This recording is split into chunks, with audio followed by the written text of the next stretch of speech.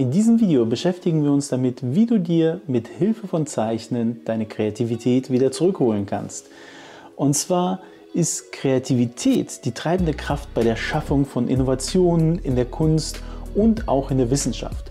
Doch unser heutiges Schulsystem, dessen Kern eigentlich noch aus den Zeiten der Industrialisierung stammte, kämpft eigentlich nahezu darum, die Kreativität des Einzelnen einzudämmen. Und hier zeige ich dir, wie du deine Kreativität, die du vielleicht durch das Schulsystem verloren hast, auf die schnellste Art zurückerlangen kannst.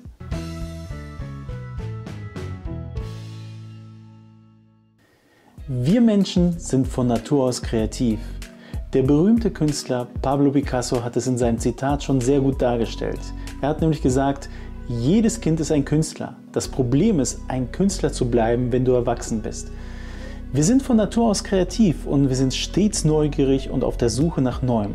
Es gehört aber auch schon eine Menge Mut dazu, um durch das ganze Leben hindurch auch kreativ zu bleiben. Denn das bedeutet auch, sich vielen veralteten Meinungen in den Weg zu stellen und diese auch einfach zu überwinden. Auch bedeutet es, Dinge in ihrem Kern zu hinterfragen und neue Ideen zu verwirklichen und das, obwohl die konservative Welt um uns herum uns davon überzeugen will, dass diese einfach nicht funktionieren werden. Hier geht es also nicht nur darum, deine Kreativität wieder zu erlangen, sondern auch deinen Mut zu stärken, deine Kreativität auch auszuleben. Und ich gehe jetzt erstmal auf das Problem ein, was wir eigentlich alle haben. Und zwar waren wir alle in der Schule und die Schule lässt unser Ideenreichtum einfach sterben.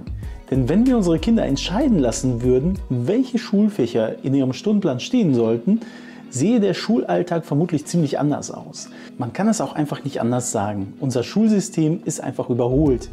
Das heutige Schulsystem stammt nämlich aus einer vergangenen Zeit, in der man sich der Macht der Kreativität noch nicht bewusst war. Alle Schulsysteme stammen noch aus der Zeit der Industrialisierung. Deshalb wurden Dinge gefördert, die in einer wachsenden Industriegesellschaft von Bedeutung sind.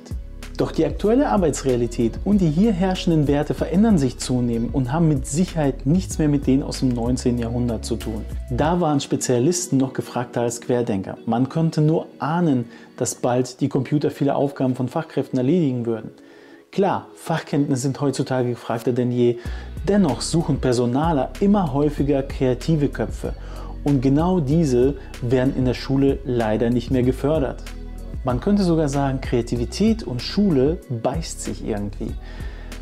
Hier sagt der britische Professor und Autor Ken Robinson, wir lernen nicht kreativ zu werden, sondern eher wir verlernen es im Laufe unseres Lebens.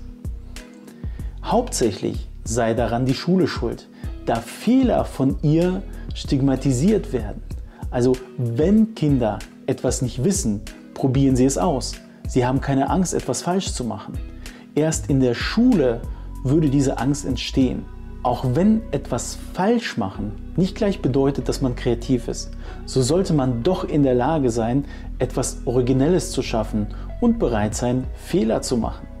Und hier müssen sich einfach mal meiner Meinung nach die Schulen darüber bewusst werden, dass Kreativität genauso wichtig ist wie Mathe. Und besonders in den Hauptfächern werden keine alternativen Lösungsansätze zugelassen, sondern immer nur der gelehrte Weg. Und hier muss man sich einfach dessen bewusst werden, dass Neues oder Kreatives oder Innovatives erst entstehen kann, wenn man diese Pfade verlässt. Wenn du also oft Angst davor hast, etwas Neues oder Kreatives zu probieren, so kann es sein, dass dir das durch die Schule oder deine Erziehung einfach eingebläut wurde. Also werde dir jetzt dessen einfach mal bewusst, nimm diese Scheuklappen jetzt einfach mal kurz ab und mach deinen Geist einfach mal frei für die Kreativität. Wenn du dir einmal bewusst geworden bist, woher deine Kreativitätsblockade kommt, bist du umso eher dazu fähig, diese auch aufzuheben. Und noch so ein Punkt ist, dass wir nicht nur auswendig lernen sollten, sondern versuchen sollten, Sachen zu erfahren. Und wahrscheinlich hast du auch dich damals gefragt, wieso du unbedingt für den Kunstunterricht den Geburts- oder Todestag von Pablo Picasso kennen musstest. Ähm, viel wichtiger wäre es doch, die Kunst von Pablo zu erfahren und mal seinen Stil auszuprobieren und seine Kreativität damit zu stärken und vielleicht auch mal zu erspüren. Also meiner Meinung nach ist es weniger wichtig, wann die Künstler geboren wurden, sondern eher, wie sie es geschafft haben, diese tollen Kunstwerke zu erschaffen, was sie bewegt hat oder was war ihr eigentlich ihr Antrieb. Also hier die Kernaussage des Ganzen. Jeder braucht Kreativität von uns. Und eigentlich bedeutet Kreativität, sich auf die Welt einzulassen, sich der Herausforderungen und den Veränderungen des Lebens zu stellen. Kreativität bedeutet auch Freude daran zu haben, sich mit der Natur, der Umwelt, den Tieren und Menschen auseinanderzusetzen. Sie so aufzunehmen, wie sie sind und das Gefühl, das bei diesem Prozess entsteht, in einem vielleicht Kunstwerk zu erfassen. Würden wir also keine Weiterentwicklung zulassen und nichts verbessern wollen, würde die Welt einfach stehen bleiben. Denn Stillstand kommt immer dann zustande, wenn Menschen aufhören, ihr Ideenreichtum wertzuschätzen. Doch zum Glück gibt es viele kreative Menschen wie dich, die einfach ihrem Weg folgen. Viele Menschen behalten ihre Kreativität trotz vieler Widerstände bei und schaffen so tolle Erfindungen oder schaffen kreative Dinge. Diese lassen wiederum andere Menschen staunen. Sie inspirieren uns alle zu noch mehr Kreativität und dazu auch selber aktiv zu werden. Wichtig für dich ist also, neue Ideen zuzulassen. Wenn wir nicht bald anfangen, nämlich neue Wege zu gehen und kreative Lösungen zu fördern, wird unsere Neugier und Fantasie regelrecht erstickt.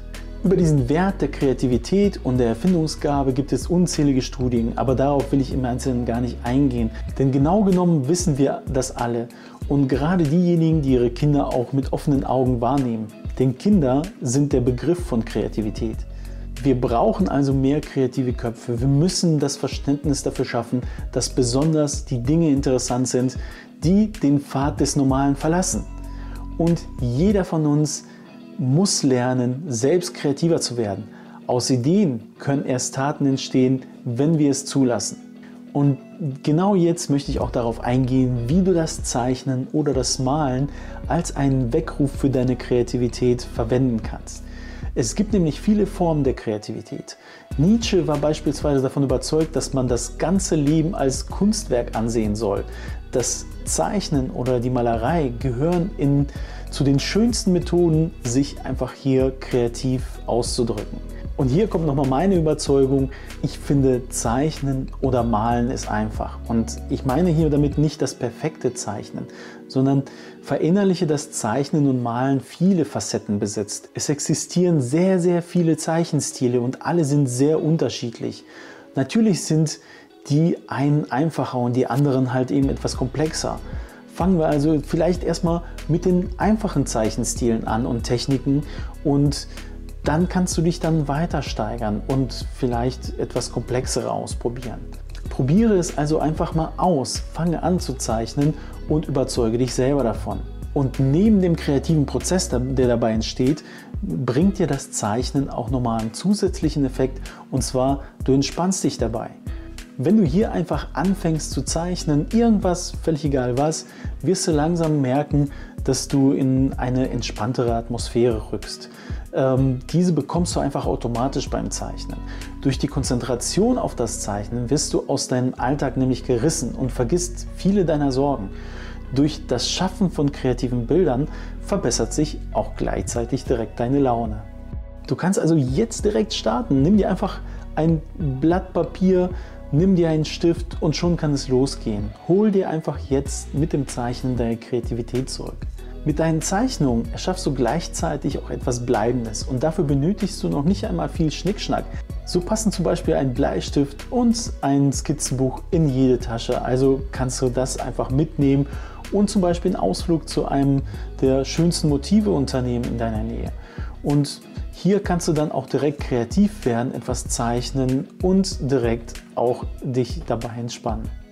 Und wenn wir hier so ein bisschen tiefgreifender werden wollen, kannst du dir auch einfach denken, alles, was du siehst, beinhaltet eine nicht sichtbare Wirklichkeit in sich.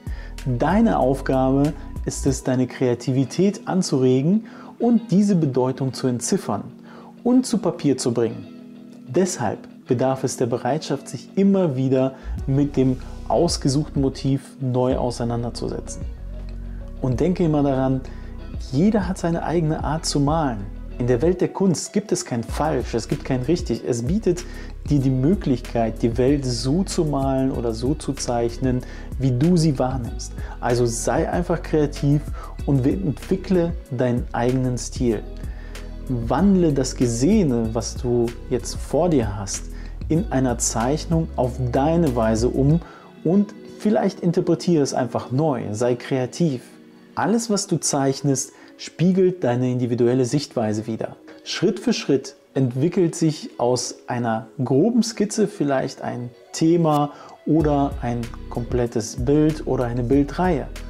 Auch deine ganz eigenen Abstraktionen sorgen für mehr Persönlichkeit in deiner Zeichnung. Gerade in diesem Prozess entsteht so manches völlig ungeplant und genau damit erwächst du dann deine Kreativität zum neuen Leben.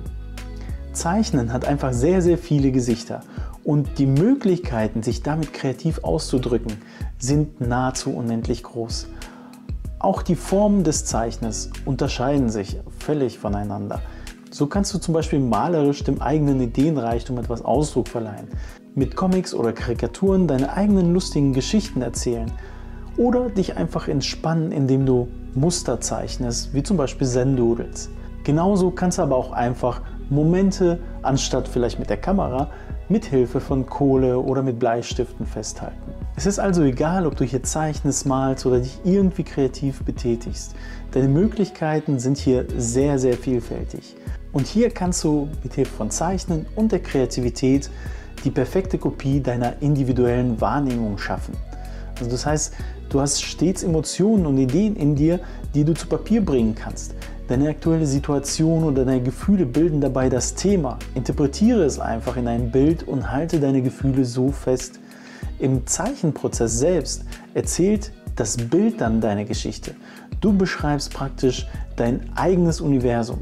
Und hier kannst du Zeichnen zum Beispiel als Medium dafür nutzen, um dich vielleicht mit persönlichen Themen oder gesellschaftlichen Problemen oder Themen auseinanderzusetzen.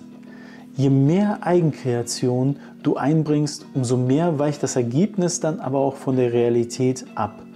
Doch das ist gut, denn damit erschaffst du ja genau das, was wir wollen, etwas komplett Neues und damit auch etwas Kreatives. Fang also am besten gleich mit dem Kreativwerden an. Ich verspreche es dir, es lohnt sich, diesen Weg zu gehen Nimm also einfach diese Chance jetzt wahr und entwickle dich weiter. Wenn du täglich zum Beispiel einige Zeichenübungen absolvierst und dabei etwas Kreatives schaffst oder einfließen lässt in deine Zeichnung, dann legst du schon eine gute Grundlage für deine nachhaltige Kreativitätspraxis. Diese wird dich dann jahrelang begleiten. Das Beste dabei ist, du wirst gleichzeitig ausgeglichener und entspannter. Und natürlich wird dir nicht jedes Bild gleich sofort gelingen, aber Ganz sicher wirst du mit jeder Zeichnung besser. Manchmal dauert es eben ein wenig, bis man seinen Stil oder seine Kreativität wiedergefunden hat. Also fang am besten jetzt an, hol dir einfach ein Blatt Papier, einen Stift und fang an zu zeichnen. Und wenn du gerade ein bisschen Kreativitätsblockade hast, und nicht weißt, womit du loslegen kannst, dann schau dich einfach hier bei mir auf dem Channel um. Da findest du genug Übungen, mit denen du loslegen kannst oder besuch auch einfach draw.com. Da findest du im Blog oder beziehungsweise auf der ganzen Website genug zum Thema Zeichnen, um direkt durchzustarten. Ich wünsche dir auf jeden Fall viel Spaß bei deinen kreativen Werken und freue mich darauf, dich auf deinem kreativen Weg zu begleiten.